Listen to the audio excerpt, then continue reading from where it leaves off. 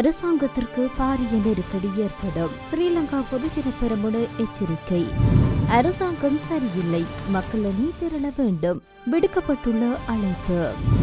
கிளிநொச்சியில் பரபரப்பு. மர்ம நபர்கள் துப்பாக்கி பிரயோகம். சஜித்தை தொலைபேசியில் அழைத்த ரணில் விதிக்கப்பட்ட நிபந்தனை.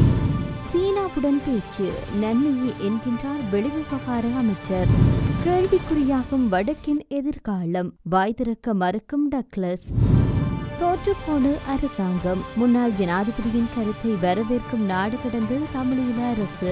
பாகிஸ்தானை புரட்டி போடும் அனர்த்தம் இருபத்தி மூன்று பேர் பலி.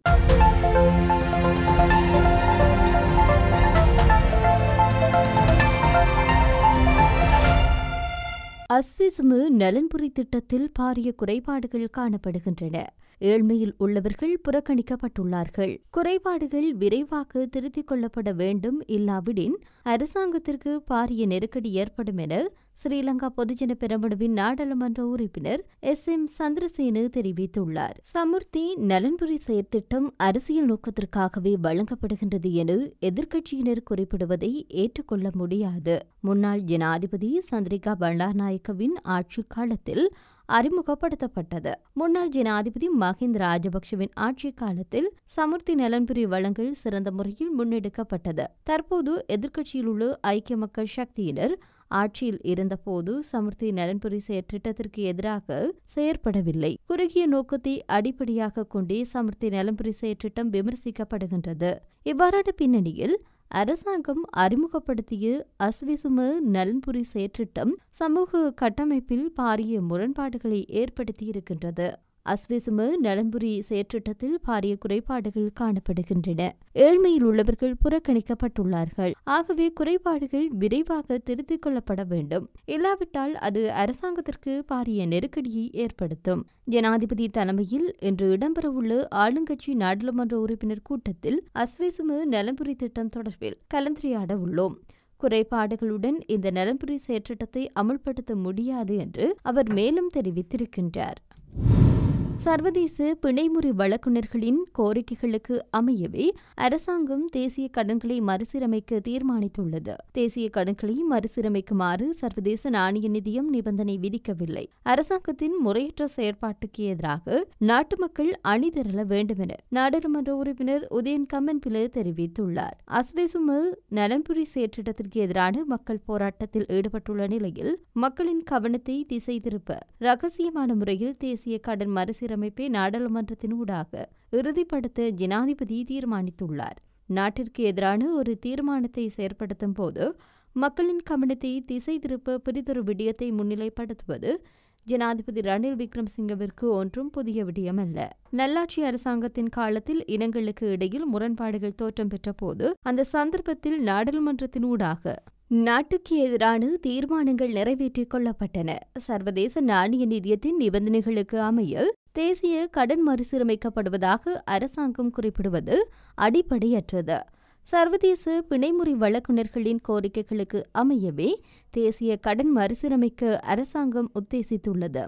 தேசிய கடன் மறுசீரமைக்கப்பட்டால் வங்கி கட்டமைப்பு நிச்சயம் பாதிக்கப்படும். ஆகவே அரசாங்கத்தின் முறையற்ற செயற்பாட்டிற்கு எதிராக நாட்டு மக்கள் அனைவரும் அணிதிரள வேண்டுமென்று அவர் மேலும் தெரிவித்திருக்கின்றார்.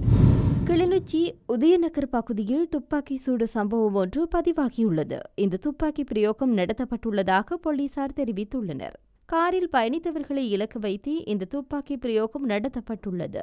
மோட்டார் சைக்கிளில் வருகை தந்து அடையாளம் தெரியாத இருவர் இந்த துப்பாக்கி பிரயோகத்தை நடத்தியுள்ளமை ஆரம்பகட்ட விசாரணையில் உறுதிப்படுத்தப்பட்டுள்ளது.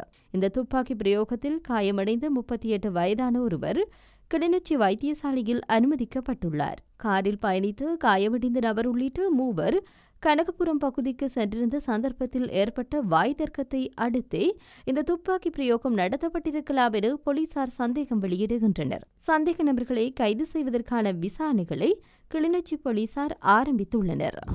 சில நிபந்தனைகளை பூர்த்தி செய்யாவிட்டால் ஜூலை மாதம் முதலாம் திகதி நாடாளுமன்றத்தில் சமர்ப்பிக்கப்படவுள்ள உள்நாட்டு கடன் மறுசீரமைப்பு திட்டத்திற்கு ஐக்கிய மக்கள் சக்தி ஆதரவு அளிக்காது என்று அறிவிக்கப்பட்டுள்ளது.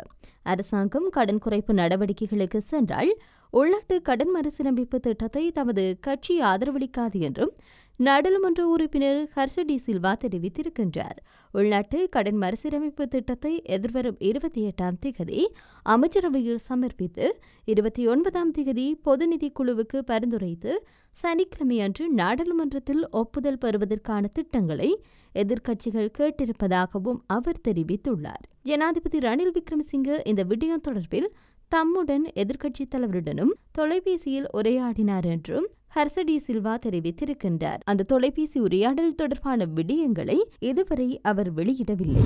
கடன் மறுசீரமைப்பு விவகாரம் உள்ளடங்களாக சீனாவுடன் முன்னெடுத்த பேச்சுவார்த்தைகள் நேர்மறையான விதத்தில் அமைந்திருப்பதாகவும் இவ்வேளையில் சிறிய நாடுகளுக்கு உதவக்கூடிய வகையிலான உலகளாவிய கடன் மறுசீரமைப்பு திட்டம் ஒன்றை உருவாக்கப்பட வேண்டும் என வெளிவிவகார அமைச்சர் அலிசப்ரி தெரிவித்திருக்கின்றார். இரு நாடுகளுக்கும் இடையிலான நீண்டகால தொடர்பு மற்றும் இரு நாடுகளினதும் பொதுவான அக்கறைக்குரிய விடயங்கள் என்பன தொடர்பில் பேச்சுவார்த்தை நடத்தினோம். குறிப்பாக முதலீடுகள் மற்றும் பொருளாதாரம் சார்ந்த விடயங்கள் பற்றியும் சில உலகளாவிய நிலவரங்கள் பற்றியும் கலந்துரையாடி இருக்கின்றோம். அதேவேளை அடுத்த கட்டமாக எமது பொருளாதார வளர்ச்சிக்கு சீனா எவ்வாறு உதவலாம் என்றும் குறிப்பாக நாம் முகம் கொடுத்திருக்கும் கடன் சுமை மற்றும் கடன் மறுசீரமைப்புக்கு சவால்களை கையாள்வதற்கு சீனா எவ்வாறு உதவலாம் என்பது பற்றியும் ஆராய்ந்திருக்கின்றோம்.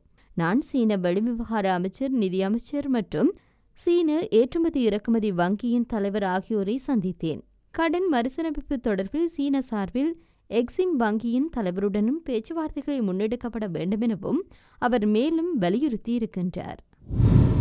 வடக்கின் எதிர்கால நீர்வளத்திற்கு பொருத்தமற்ற அபிவிருத்தி திட்டமான நைனாமடு சீனி தொழிற்சாலையை தமிழரசு கட்சி எதிர்க்கும் என தமிழரசு கட்சியின் நாடாளுமன்ற உறுப்பினர் எம். ஏ. சுமந்திரன் தெரிவித்துள்ளார். அமைச்சரவை கூட்டத்தில் இருந்து அமைச்சர் டக்ளஸ் தேவானந்தா கூட இவ்வளவு பெரிய நிலம் ஒதுக்கப்படுவது குறித்து வாய் திறக்கவில்லை என்றும் அவர் குற்றம் சுமத்தியிருக்கின்றார். இது தொடர்பில் மேலும் கருத்து தெரிவித்த அவர் சீனி தொழிற்சாலைகளுக்கான நில விநியோகம் தொடர்பிலே ஜனாதிபதியை சில தமிழ் தரப்புகள் தனியாக சென்று சந்தித்தனர் என்று பத்திரிகையொன்றில் செய்தி வெளியாகியிருந்தது.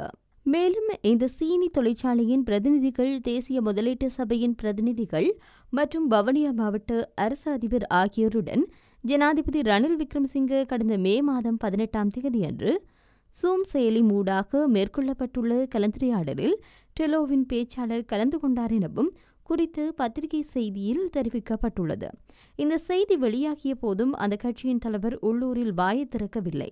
இந்த தொழிற்சாலைக்கு நிலம் வழங்கும் தீர்மானம் மேற்கொண்டு அதே அமைச்சரவை கூட்டத்திலிருந்து அமைச்சர் டக்ளஸ் தேவானந்தா கூட இவ்வளவு பெரிய நிலம் ஒரு தொழிற்சாலைக்காக ஒதுக்கப்படுவது குறித்து வாய் திறக்கவில்லை என்றும் சுமந்திரன் மேலும் தெரிவித்திருக்கின்றார். இலங்கை ஒரு தோற்றுப்போடு அரசு என்று இலங்கையின் முன்னாள் ஜனாதிபதி சந்திரிகா குமாரதுங்க ஒப்புக்கொண்டிருப்பது முன்னெப்போதும் காணாத ஒப்புதலாகும் என்று இந்த ஒப்புதலை நாடு கடந்து தமிழீழ அரசாங்கம் வரவேற்கின்றது என நாடு கடந்து தமிழீழ அரசாங்கத்தின் தலைவர் விஸ்வநாதன் உருத்ரகுமாரன் தெரிவித்துள்ளார். இந்த உண்மையை வெளிப்படையாக சொன்னதற்காக நாடு கடந்து தமிழீழ அரசாங்கம் முன்னாள் ஜனாதிபதியை பாராட்டிய போதிலும் இந்த தோல்விக்கு ஊழலை காரணமாக காட்டியிருப்பதை மறுத்துரைக்கின்றது. தமிழர்களுக்கு எதிரான அரசின் நிறுவனமயப்படுத்தப்பட்டு இனப்பாகுபாடு பரவலாகவும் மற்றும் ஆழமாகவும் வேரூன்றியிருப்பதும் தமிழின வலிப்பும் தமிழர்களுக்கு எதிரான அரசின் கொடுங்குற்றங்களும் இலங்கை அரசின் தோல்விகளுக்கு அரைகுறை குற்ற ஒப்புதலே காரணம் என்பதை குறிப்பிட தவறியிருப்பதை நாடு கடந்த தமிழீழ அரசாங்கம் சுட்டிக்காட்டியுள்ளது. இலங்கையின் முன்னாள் ஜனாதிபதி சந்திரிகா இரண்டாயிரத்தி இருபத்தி மூன்று ஏப்ரல் பதினாறாம் தேதி யுனெஸ்கோ நல்லின தூதுவர் மதன்ஜீத் சிங் நினைவு சொற்பொழிவு ஆற்றுகையில் அவர் சொன்ன விடியம் காலனி ஆதிக்கத்தின் ஆட்சியாளர்களின் நானூற்றி ஐம்பது ஆண்டுகால அழிவு வேலைக்கு பிறகும் இலங்கை சில மிகச்சிறந்த சமூக பொருளியல் வளர்ச்சிக்கு குறியீடுகள் கொண்டதாக இருந்தது. இன்று எழுபத்தைந்தாவது வயதில் இலங்கை அரசு தோற்றுப் போய் குமாரதுங்கு அம்மையார் தமது உரையில் முன்னாள் சிங்கப்பூர் ஜனாதிபதி லேகுவாஞ்சி ஆயிரத்தி தொள்ளாயிரத்தி ஐம்பத்தி ஆறாம் ஆண்டு இலங்கைக்கு வந்து சென்ற பிறகு கூறியதை மேற்கோளாக காட்டியது பொருத்தமானதே. அந்த நேரத்தில் பொதுநலவாய நாடாகிய இலங்கை புதிதாக அமைந்து சிங்கப்பூர் பின்பற்ற விரும்பிய முன்மாதிரியான நாடாக விளங்கிற்று என்று லேகுவான்ஜி கூறியிருந்தார் என தெரிவிக்கப்பட்டுள்ளது. பாகிஸ்தானில் பஞ்சாப் மாகாணத்தில் நேற்று கனமழை பெய்தது. சேக்புரா நரோவில் ஆகிய மாவட்டங்களில் கனமழை நீடித்து வருகின்றது. கனமழை காரணமாக ஒரு சில பகுதிகளில் நிலச்சரிவு வெள்ளப்பெருக்கு ஏற்பட்டுள்ளது. இந்த நிலையில் பாகிஸ்தானில் கனமழை பெய்து வரும் நிலையில் நரோவால் மாவட்டத்தில் ஐந்து பேரும் சேக்புரா மாவட்டத்தில் இரண்டு பேர் என ஏழு பேர் உட்பட மின்னல் தாக்கி பத்து பேர் உயிரிழந்திருக்கின்றனர். மேலும் ஏழு பேர் வெள்ளத்தில் மூழ்கியும் மின்சாரம் தாக்கி ஆறு பேரும் பலியாகியுள்ளனர். மின்னல் தாக்கியும் மின்சாரம் தாக்கியும் பலர் படுகாயமடைந்துள்ளனர். அவர்கள் அருகிலுள்ள மருத்துவமனையில் அனுமதிக்கப்பட்டு சிகிச்சை பெற்று வருகின்றனர். வரும் முப்பதாம் திகதி வரை நாட்டின் பல்வேறு மாகாணங்களில் கனமழை பெய்யக்கூடும் என பாகிஸ்தான் வானிலை ஆய்வு மையம் தெரிவித்துள்ளது.